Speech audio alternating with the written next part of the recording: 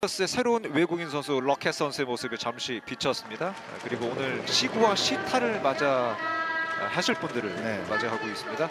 오늘 브레이브걸스가 오늘 시구와 시타를 맡게 되겠죠? 네.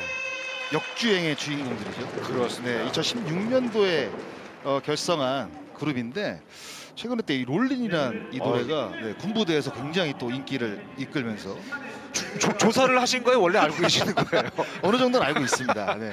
예, 1854일 만에 역주행에 성공을 한 브레이브걸스 그야말로 역전의 용사들입니다. 그렇습니다. 오늘 시구는 우리 민영양이랑 유정양이 시구와 시타를 하는데 별명 아세요? 아 모르는데요. 우리 유정양은 꼬북좌, 우리 민영양은 메보좌. 네. 메보좌 뜻이 뭔지 혹시 아세요? 아 모릅니다. 메인 보컬. 아, 아, 이 정도는 아셔야 됩니다. 오, 네. 아, 스트라이크예요. 스트라이크 네. 들어갔어요.